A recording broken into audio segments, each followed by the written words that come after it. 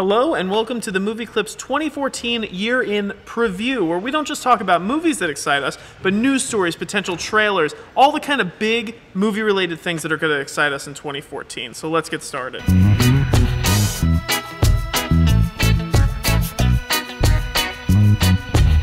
2014 has some huge movies for the comic book audience. Not necessarily comic book adaptations, but for everybody who loves that kind of stuff. Oh, so we got Transformers: Age of Extinction. Michael Bay brings us the fourth Transformers movie. This time, Shia is out. I think Megan Fox is out, but we got Mark Wahlberg, and we haven't seen that much. We haven't seen a trailer yet for Age of Extinction. We've seen some posters and some stills, but we know it's going to be amazing. Attached to Michael Bay's name, Ninja Turtles, they're coming Yes, back. this director I think is Jonathan Liebesman. Mm-hmm. We still don't know what the Ninja Turtles will look like. No we know. Megan Fox does wear a yellow jacket, sort of like the cartoon. I mean, sort of. Like it's not really going to even be close to that. I Not bet. even a little bit. I mean, she's playing April O'Neil. We, we know there's Splinter and Shredder. However, it's a white guy playing Shredder, so I don't know if that's going to be that good. So I'm this one's still on the fence. This one, Yeah. it's really, it's really iffy. We again, we haven't seen the turtles. We know that they're not from. It's not from Ooze. They're alien turtles, which kind of rubbed a lot of fans the wrong way. But we'll see. I mean, they've been off the big screen in a live-action movie almost 20 years. This year, we also see Marvel Phase Two continuing. Captain America: Winter Soldier. So yeah, this movie's gonna be awesome because the Winter Soldier is the villain who is actually Bucky Barnes, who fell off a train and then froze in ice in the first movie, and now he comes back. He's been mind- brainwashed by the Soviets to be an assassin, and it just looks amazing. I thought the trailer was great. The Russo brothers are directing. I think it's gonna be a great movie. big action blockbuster. We have Edge of Tomorrow, which stars Tom Cruise. Now it's cool. This was directed by Doug Liman, who for me is a little hit or miss, but the trailer's cool. Tom Cruise, again, say what you will about the guy. He he chooses quality entertainment to be involved in. I think that this could be a really fun kind of big action movie. Yeah. Um, speaking of big action and fun, 22 Jump Street comes Yeah, out. this I year. love the first 21 Jump Street. I think Jonah Hill is so talented to bring. Like, there were so many great references. Like, spoiler alert, they bring in Johnny Depp for the first one, Mm-hmm. and it's just a great shootout moment. Yeah. And Jonah Hill and Channing Tatum, they've had branched out and they've tried so many different things. Yes, for sure. Um, but I mean, comedy is one of both of their strong suits. So Mm-hmm. to see them coming back for the sequel of a very successful film, it's going to be a good sign. I'm really excited about this one Dawn of the Planet of the Apes. Now, to me, this has everything going for it. From what we saw in the trailer of this movie, not only have they kind of gotten rid of the original cast, it's this takes place five years later where the world has kind of been destroyed. That trailer, things got real. You know, when Caesar basically gets them all to rise up together Mm-hmm. in unison at the end, you know, it's, it's a very chilling moment. For all you subscribers of the Auteur Theory out there, we have some big name directors with exciting adaptations this Mm-hmm. year, not least of which is David Fincher directing Gone Girl. Yeah, you, I- you started to read the book, yeah? I did. I started to read the book and was not a huge fan, but Okay. a lot of people were a huge fan of it. And whether whether the book is good or not, David Fincher's attached to it. I mean, that's yeah, he's an amazing director. He really, he really is. This stars Ben Affleck, Rosamund Pike. They released one image from this movie Yeah. so far, and it could not look any more like a David Fincher film from one picture. Yeah. Another huge artistic director that is bringing a movie that he's been trying to get made for almost 10 years now to the screen. Darren Aronofsky finally making Noah, or make it, releasing Noah. Yeah. The trailer was a little cookie cutter for me, but Aronofsky, I mean, every time he does anything on a big scale like The Fountain, it's it's always unique, whether you think like it or not.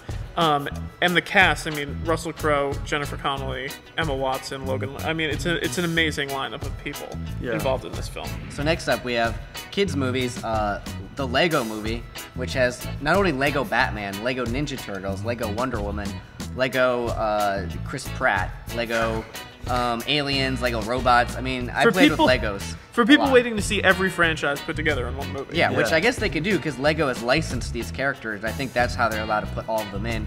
And it has this great stop motion animation look, but I'm pretty sure it was only like half stop motion and half CGI. Yeah. The, the line is still pretty blurry to me, too. I mean, Yeah. Yeah, And- it looks amazing, and the trailer was hilarious. yeah, the trailer was definitely funny.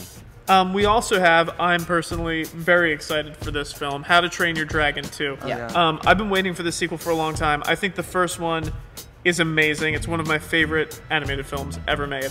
Um, and they have the same creative team back, and they've had years to work on a script and work out the story. They're making this and a third one. Um, so I personally could not be more excited for Yeah, this me too. I loved I loved Hiccup as a character. I love the dragons and Toothless and everyone. It's just Vikings and dragons. It's such a cool animation. And also to be noted, um, the music in the original How to Train Your Oh, Dragon Michael was- Powell's score is incredible. It's Yeah. unbelievable. It was nominated for an Oscar, which is pretty like I mean, for a not Pixar movie, an animated non Pixar animated movie is is quite a feat. So that's really cool. We also have Maleficent, which is Disney moving more in their reimagining. Kind of like the Alice in Wonderland live action, and there was Mm-hmm. also the. Uh, I want to say Swath was the uh, Snow White and the Huntsman kind Mm-hmm. of live action. These fairy tales with intense amounts of visual effects and CGI, Mm-hmm. um, but also a little bit edgy. And I think the, the trailer definitely shows Angelina Jolie could be kind of like, she could be good or bad. I think the trailer is very like, I'd say she's probably on the fence. yeah. Yeah. Yeah, with- um, some more book adaptations that are coming out. Yes. We, we have The Hunger Games Mockingjay Part 1. And there's going to be a year apart, unfortunately. I really wish there was like only like two months difference. People who are fans of these books, you know, they want to see as much detail in these movies as they possibly can. They want to see as complete an adaptation as possible. So I understand the move. I think it's a smart move, and Catching Fire was awesome. Yeah. So I mean, if there's two Mockingjays, I'm totally for it. Um, another one that's coming out is Divergent. With Shailene Woodley. Shailene Woodley, also Kate Winslet's in it. Yeah. Yeah. which is great really rad. actresses. Yeah, yeah, really, really good cast. And also, I mean, I wasn't a huge fan of the trailer, but I'm a huge fan of the cast. And Neil Burger directed it. He made The Illusionist and Limitless. He's a really talented filmmaker. And speaking about taking one book and then making it into several movies, we'll finally see the end of The Hobbit with Yes. there Peter and Jackson. back again. Yeah. Yeah. Um, I thought The Desolation of Smaug was a step up actually for Mm-hmm. the series. And it actually ended sooner than I thought it would, which bodes well for there and back again. It means there's even Yeah. more action for that. Yeah, it's certain they keep ending these movies kind of in the middle of scenes. Yeah. Um, They so, which could be frustrating considering they put them a year apart. Well, everyone's been talking about 2015 because, I mean, Mm-hmm. there's all of these anticipated titles that are coming out then.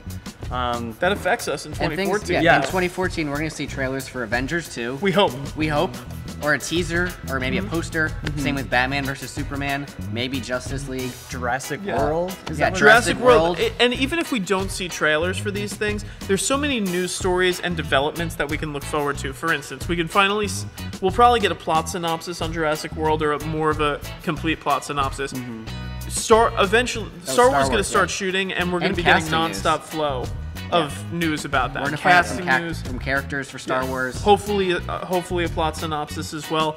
Um, a few other things that I'm excited about. Disney got the rights to Indiana Jones, so we're gonna see if they're gonna make a move on that anytime soon. Um, Hopefully not with Shia LaBeouf as I Mutt mean, if they want to make a move with Harrison Ford, they better hurry up. So 2014 is going to be pretty cool, guys. Yeah, thank you for watching our year in preview. Check out our five movies that we are the most excited about. Out of all the movies that we that we talked about and thought about in 2014, those are the ones that we're most excited about. So click to watch that and comment below. What are you most excited about in 2014? What do you think Star Wars is going to be about? Hopefully we find out. Till next time, I'm Ryan. I'm JS. I'm David. Thank you for watching.